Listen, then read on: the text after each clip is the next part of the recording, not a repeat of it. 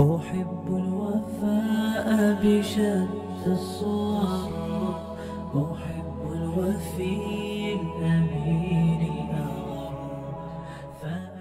الأغر عید کے بعد رسول اللہ صلی اللہ علیہ وسلم نے فرمایا من صام رمضان ثم أتبعه ستا من شوال کان كصيام الدهر.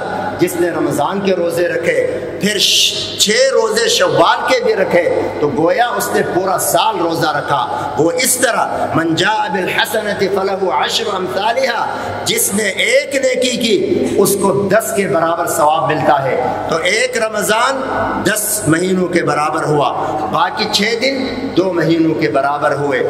اس لیے میرے بھائیوں دوستوں اور بزرگوں، اس مبارک سفر کو آپ نے جاری رکھنا ہے۔ ایک تو چھ شوال کے روزے رکھیں۔ اب اس میں ضروری نہیں ہے کہ آپ فوراً ایک کے بعد دوسرا مسلسل رکھیں، ضروری نہیں ہے۔ آپ اپنی آسانی سے چھٹی کے دن رکھیں، بے شک آپ کو دن آپ کام کے لیے جاتے ہیں، روزہ نہیں رکھ سکتے، تو چھٹی چھٹی کے دن رکھیں۔ شوال میں چھ روزے ہونے چاہیے۔